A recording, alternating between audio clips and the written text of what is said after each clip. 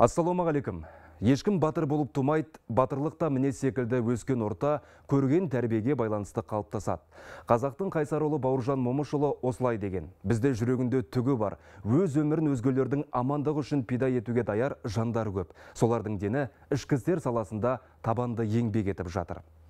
Батырлық деген соғыста ғана сыналады деген теріс түсінік қалыптасқан. Мұны теріс дейтініміз мынада. Осы күні бейбіт күннің батырлары да болады. Оларды мұқым жұрт білмеуі мүмкін, бірақ естіген бойда істеген ісіне тамсанып, мақтап, мадақтап жатады.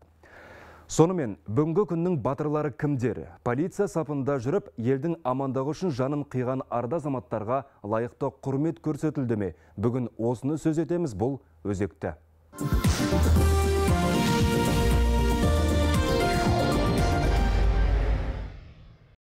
Елдегі тәртіпті күзетіп жүрген жандардың арасында күн сайын бастарын бәйгеге тігетіндер көп. Бірақ соларды ел білмейді, естімей жатады. Өйткені өздері дәріптелген қаламайды. Оларға ерлік жасау мақтаныш емес. Біз бүгін елдің ертең үшін өздерін өлімге қиған полиция қызметкерлерін еске алуды жөн көрдік. Түгелін түгендей алмаспыз, бірақ содырларға қарсы күрес жүргізгенде есімі ел есінде ерекше сақталған ерлерді атаймыз.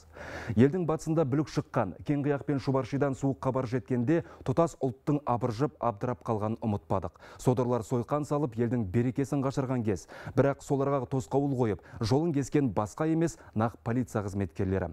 Кескілескен ұрыста өкінішке орай төрт тәртіп сақшысы қаза тапқан еді. Тұңғыш президенттің жарлығымен полиция сержанттары Нұрлан Алпыспай мен Айдос Боронбаев үшінші дәрежелі.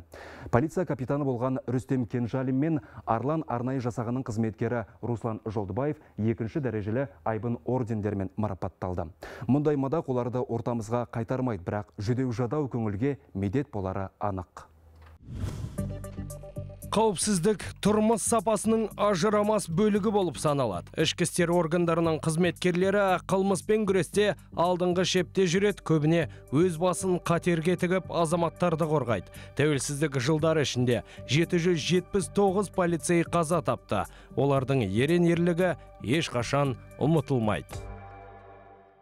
Ғазиз Байтасовты да есіл елі ұмытпасы анық. Батырдың рухына тағзым еткен жұрт жамбылдық қаһарманды қадірлеп қастерлеп жатыр. Марқұмның қандай ерлікке барғанын жасы да, жасамысы да білет. Жабылып жүріп қолға түсіре алмаған мысық тілеулені жалғыз өзі жығып жоқ қылды. Гранатадан сескенбей кеудесін тосты. Сөйтіп өз еліне қалқанда қорғанда бола білді.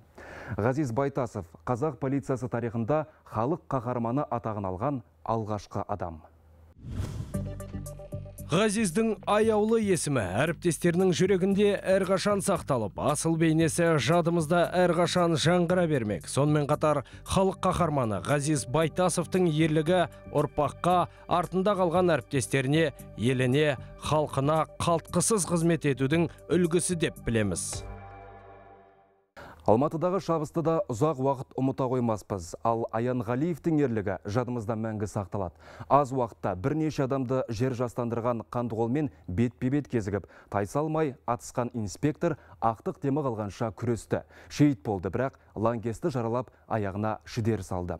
Күлекбаевпен күресте қаза тапқан жеті бірдей тәртіп сақшысы жоғары мемлекеттік наградаларға ие болды.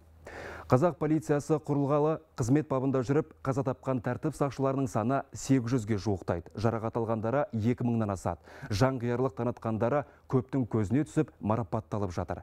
Қазір ерлігі еленген полиция қызметкерлері мыңның үстінде. 115 тәртіп сақшысына мемлекеттік наградалар қаза тапқаннан кейін берілген. Бейбіт күннің батырлары осылар. Біліп жүрейік, ұмытпайық, әркез ұлықтайық. Бүгінгі тәмам аман болыңыздар.